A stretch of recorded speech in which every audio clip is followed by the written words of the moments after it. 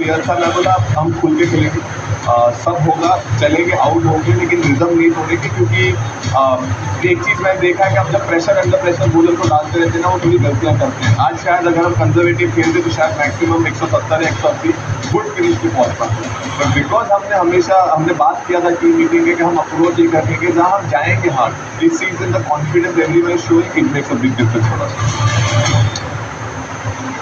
Defending champion पर फिर नज़र आएँगे। जी अगला मुकाबला कोलकाता नाइट राइडर्स के विरुद्ध उनतीस अप्रैल को दोपहर दो बजे ज़रूर जुड़िए हमारे साथ, क्योंकि ये कांटे की टक्कर रहने वाली है। बड़ा दिन, बड़ा मुकाबला है दोनों टीमों के लिए।